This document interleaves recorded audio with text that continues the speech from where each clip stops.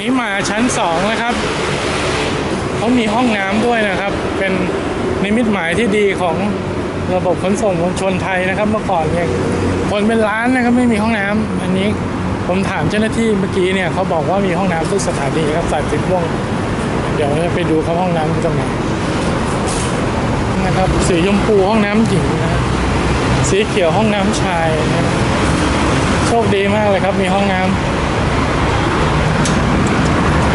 เลื่อนนะสองชั้น เข้ามาแล้วก็จะมีอ่างล้างหน้า